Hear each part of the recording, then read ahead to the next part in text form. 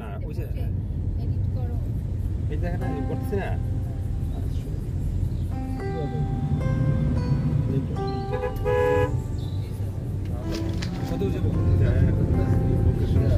গাজীপুর হল গাজীপুর জেলার একটি শহর। এটি ঢাকার সন্নিকটে অবস্থিত। আজ আপনাদের গাজীপুর শহর ঘুরিয়ে দেখাবো। অনেকগুলো ভারী এবং মাঝারি শিল্প এলাকা নিয়ে এই শহর গড়ে উঠেছে। দেশের সর্ববৃহৎ ফসল গবেষণা প্রতিষ্ঠান বাংলাদেশ কৃষি গবেষণা ইনস্টিটিউট এই জেলায় অবস্থিত।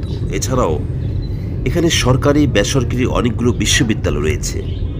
এদের মধ্যে উল্লেখযোগ্য হল বঙ্গবন্ধু শেখ মুজিবুর রহমান কৃষি বিশ্ববিদ্যালয়, জাতীয় বিশ্ববিদ্যালয়, ঢাকা প্রকৌশল ও প্রযুক্তি বিশ্ববিদ্যালয় এবং ইসলামিক ইউনিভার্সিটি অফ টেকনোলজি। দেশীয় অন্যতম শিল্পনগরী টঙ্গীর অবস্থান এই শহরের মধ্য। এছাড়া আরও রয়েছে Bangladesh security printing corporation limited, Bangladesh machine tools factory limited, Bangladesh সমরাস্ত্র কারখানা, বাংলাদেশ ধান গবেষণা ইনস্টিটিউট বিশেষভাবে উল্লেখযোগ্য। প্রধান নদ নদীগুলি হল পুরাতন ব্রহ্মপুত্র শীতলক্ষা তুরাগ, বংশী বালু বানার। তুরাগ নদীর শিল্প বর্জ্য দ্বারা মারাত্মকভাবে দূষিত হয়ে পড়েছে।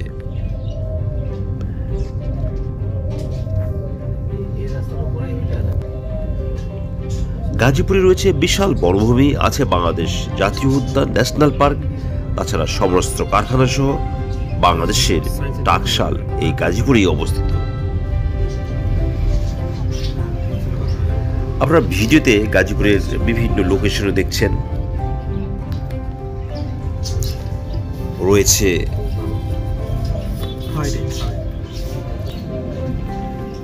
প্রাচীন নিদর্শন রয়েছে ভাওয়াল রাজবাড়ি যেটি গাজীপুর জেলার জয়দেবপুরে প্রায় পাঁচ একর জায়গার উপর কালের সাক্ষী হয়ে দাঁড়িয়ে আছে ঐতিহাসিক ভাওয়াল রাজবাড়ি।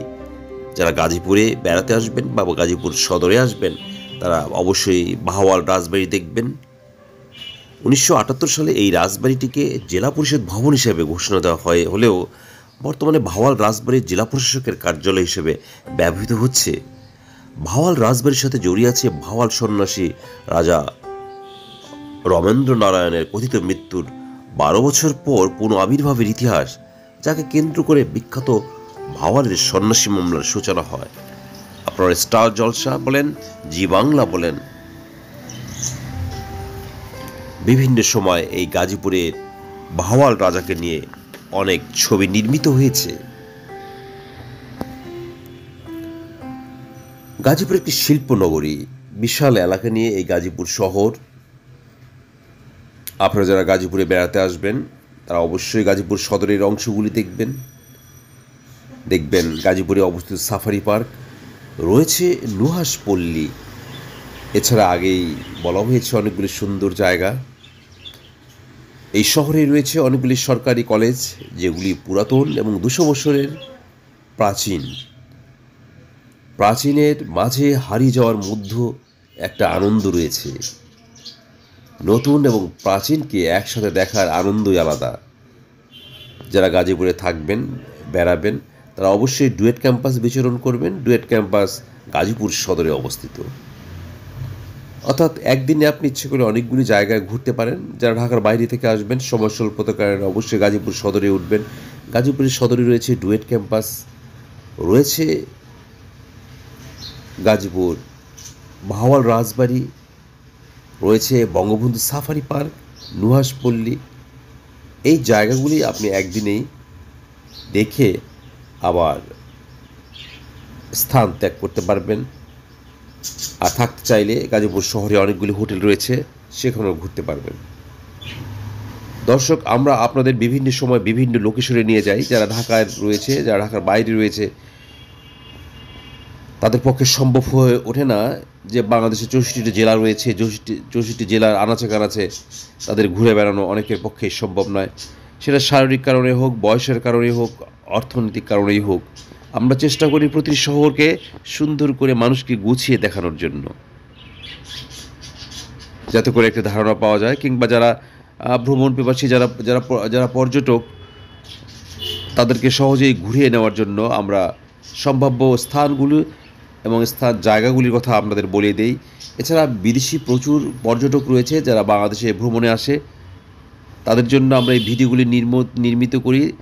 তাদেরকে বাংলাদেশের অর্থনৈতিক উন্নয়ন এবং বাংলাদেশের বর্তমান প্রেক্ষাপট তাদের সামনে তুলে ধরার জন্য আমরা আমাদের প্রয়াস চালিয়ে যাই। আপনারাও বিদেশিরা যারা দেখতে পারে, যারা বা, তারা যেন বাংলাদেশে ভ্রমণে আসতে পারে বাংলাদেশের অর্থনীতি সম্বন্ধে জানতে পারে সেজন্য আপনারা অবশ্যই চ্যানেলটির দিকে তাকাবেন, তাদের সহযোগিতা করবেন। আপনারা ভিডিওতে গাজীপুরের বিভিন্ন লোকেশন দেখছেন। গাজীপুরের শহরে আজকে আমাদের গাড়িটা বিভিন্ন জায়গায় নিয়ে যাচ্ছে। গাজীপুর শহরটা ছোট হলেও এই শহরে রয়েছে নানা বৈচিত্র্য, নানা বিনোদনের জায়গা। গাজীপুর শহরের খাবার মানও ভালো। বিশেষ করে যারা যেগুলি হাইওয়ের পাশে যে রেস্টুরেন্টগুলি রয়েছে, এছাড়া শিববাড়ি মোড়ে অনেকগুলি হোটেল রয়েছে। সেখানেও আপনি খাওয়া দাওয়া করতে পার- পারবেন। সরকারি অনেকগুলি কটেজ রয়েছে। দর্শক, আপনারা গাজীপুরের বিভিন্ন লোকেশন দেখছেন।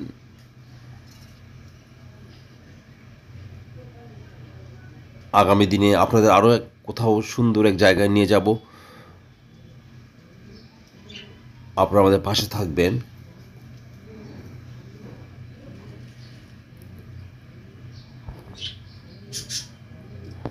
যারা এই ভ্রমণে আসবেন, তারা যেখানে থাকবেন কিংবা হোটেল, রেস্টুরেন্ট বলেন, রেস্তোরাঁ বলেন জার্নির জন্য ব্যবহৃত মোটর মোটর বাইক মাইক্রোবাস অবশ্যই এগুলি ভাড়া করে নেবেন, দরদাম করে ঠিক করে নেবেন আশেপাশে প্রয়োজনে আশেপাশে মানুষকে জিজ্ঞাসা করে নেবেন ভ্রমণের জন্য ব্যবহৃত গাড়ি, বাইক কিংবা মাইক্রোবাস, রিক্সা, অটো ভাড়া কত হতে পারে সম্ভাব্য টাকা পয়সার হিসাব জেনে ওঠাটাই ভালো। যারা ঢাকার বাইরে থেকে আসবেন, তারা প্রায় বিড়ম্বনার শিকার হন। এগুলি মাথায় রেখে আপনাকে প্রোগ্রামটা সাজাতে হবে। দর্শক, চলুন আমরা আপনাদের ঘুরিয়ে নিয়ে আসি শহরের বিভিন্ন আনাচে কানাচে ততক্ষণ আমাদের সাথে থাকবেন। থ্যাংক ইউ আল্লাহ হাফেজ।